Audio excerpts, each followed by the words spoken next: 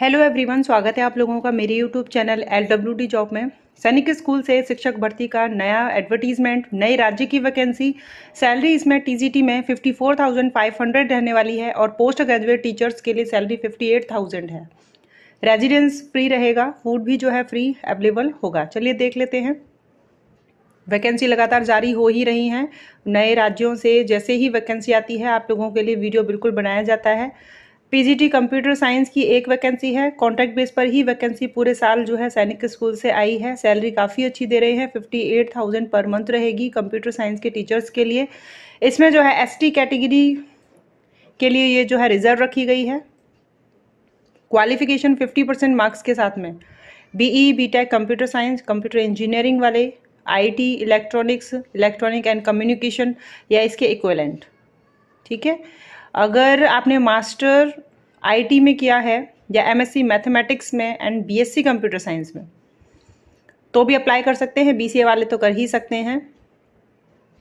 Diploma वालों की अगर हम बात करें तो इन्होंने कहा है कि पोस्ट ग्रेजुएट डिग्री मैथमेटिक्स में या फिजिक्स में या स्टैटिस्टिक्स में, और साथ में जो है पोस्ट ग्रेजुएट डिप्लोमा आपका कंप्यूटर एप्लीकेशन में होना चाहिए।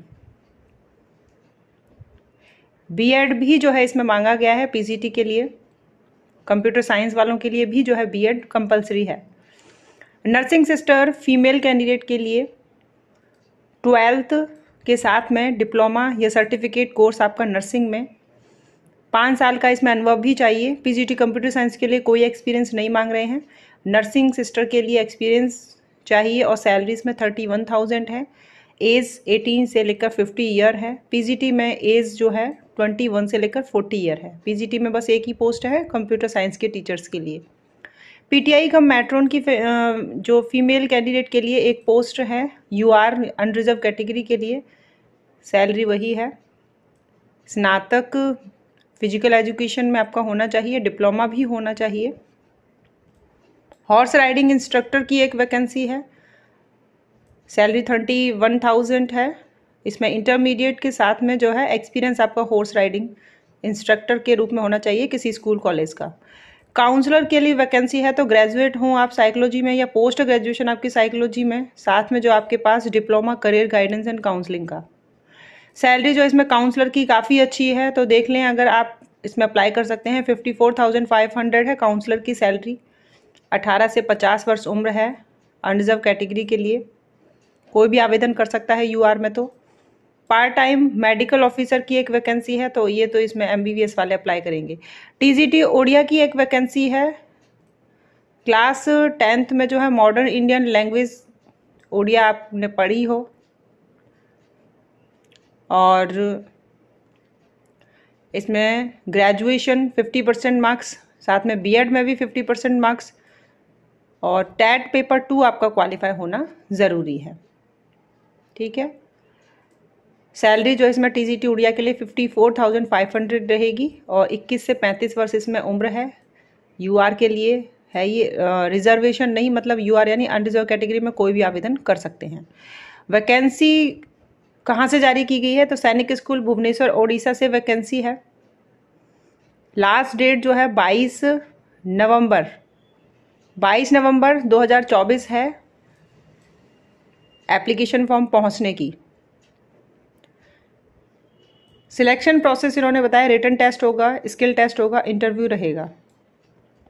जो रिटर्न टेस्ट को क्वालिफाई कर लेंगे तो उनको आगे जो है नेक्स्ट स्टेप में बुलाया जाएगा इंटरव्यू के लिए। लास्ट डेट जो है मैंने आपको बता दिया 22 नवंबर 2024 है। एप्लीकेशन फ़ीस लग रही है, इसमें डिमांड ड्राफ्ट है, फोर हंड्रेड रुपीज़ का।